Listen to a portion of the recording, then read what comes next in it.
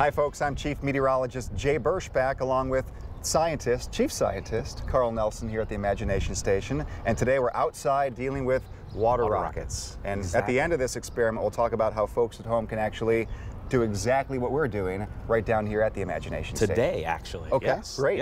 Okay. So this is our annual Water Rocket Challenge. We provide all the materials, and visitors come down and provide the labor and the engineering expertise to turn a two-liter bottle filled with a little bit of water Okay. into a rocket. Okay, so let's show All them how we do it here. So this is the uh, very low-tech, non-engineered way of doing this because this rocket has no fins, it has no counterbalancing weight.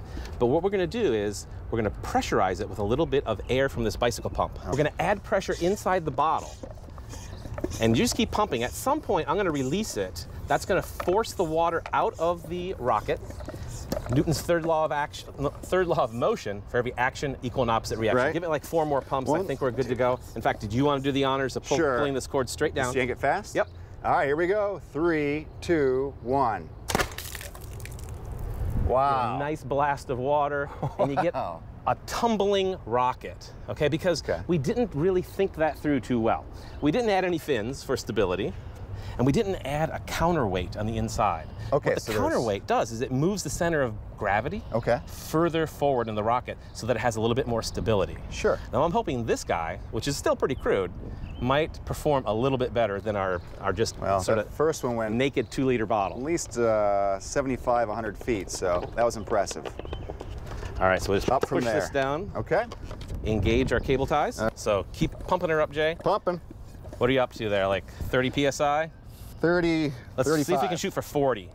Oh, Carl, putting me to work. It's getting harder and All right, harder as you 40. add more pressure. 40. All right. Okay, are you we're ready? I'm ready. All right, here we go. In three, two, one. Boom. Whoa!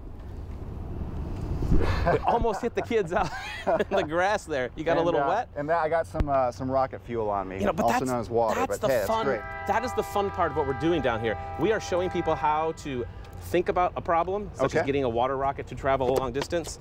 We're actually going to have some prizes for people. Have targets set up. Okay. People can build their rockets. Go ahead and pump one more time. Okay, Let's get this go. guy out there. So this has a couple of extra fins. This has four fins, and Okay. I don't know if that's going to make a difference or not. And that's the beauty of this: is that you can try so many different variables. You can try so many different things. We're at about at about 40. Give it four more, if you can. Give me the hard work today.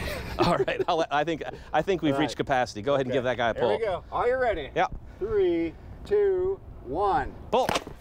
Whoa! Wow. Oh man, look at that. we hit the building. Okay, That was a so, so four fins, man. That's the way to Wow. Do it. That one, if you come to the Imagination Station, the outside area, Yeah. that went off the building where I believe Promedica is going to be. Yeah, this soon. old steam plant. Yeah, Amazing. That one Nice. flew nice and straight too. that's nice. Yeah, All right, absolutely. so go over once again. Today, folks can Today's come down and, and, and get a nice little shower.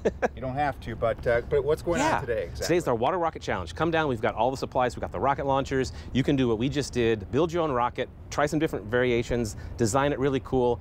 Come out. Test it. We'll have target set up, and the rocket that gets closest to the target, we've got prizes. It's just a fun family event. Lots of engineering. Lots of fun. you get wet. You get cooled off. It's it's just crazy. It's It is cool, and that last one was impressive. That's amazing, yeah. Awesome stuff. Okay, for Carl Nelson, Yeah. thank you so much. I am Chief Meteorologist Jay Berschback. That was Imagine.